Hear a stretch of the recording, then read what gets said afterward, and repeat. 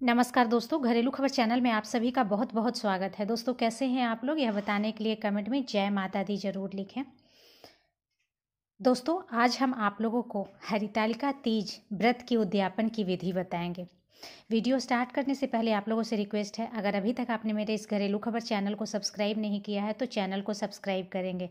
Video पसंद आएगा, video को लाइक करेंगे और जितना ज़्यादा से ज़्यादा हो सके मेरे इस वीडियो को शेयर करेंगे। हरितालिका तीज साल में आने वाले सभी व्रतों त्योहारों में से एक है। तीज का यह व्रत भाद्रपद शुक्ल पक्ष की तृतीया को मनाया जाता है। शास्त्रों के अनुसार भाद्रपद शुक्ल तृतीया को हस्त नक्षत्र में भगवान शिव और माता पार्वती का पूजन विशेष महत्वपूर्ण होता है। यह व्रत कुमारी और सौभाग्यवती महिलाओं द्वारा अखंड सौभाग्य के लिए रखा जाता है और यह व्रत निराहार एवं निर्जला किया जाता है। चूँकि इस दिन भगवान शिव और माता पार्वती की पूजा अखंड सुहाग के लिए की जाती है, लेकिन कई कारणों की वजह से महिलाओं का यह व्रत बीच में छूट जाता है। ऐसे में उन्हें हरितालिका तीज का उद्यापन अवश्य कर लेना चाहिए, जिससे उन्हें हरितालिका तीज व्रत का पूर्ण फल प्राप्त हो सके।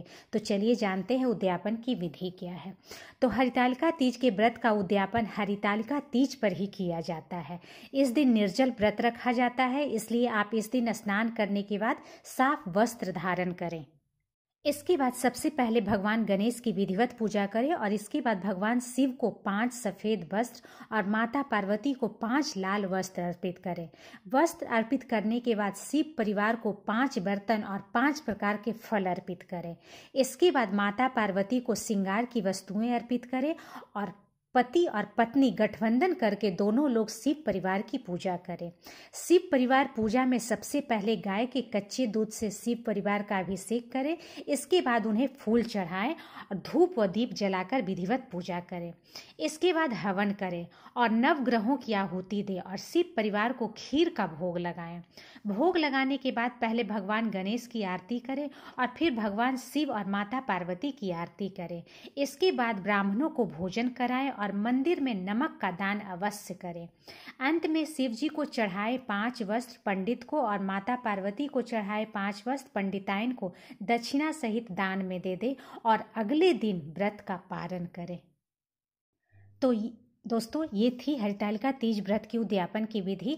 आप या तो उद्यापन स्वयं कर सकते हैं या किसी योग पंडित के द्वारा भी करवा सकते हैं। अगर इस व्रत को उद्यापन आप खुद करना चाहती हैं तो इसके लिए जैसे कि आवश्यक सामग्री की आवश्यकता होती है तो व्रत उद्यापन के लिए पूजन सामग्री में पाँच सफ़ेद कपड़े, सुहाग की सामग्री, फल, फूल, मिठाई, पंचामृत, जूते, सोने या चांदी की कोई वस्तु अच्छत पान, सुपारी, गुलाल आदि।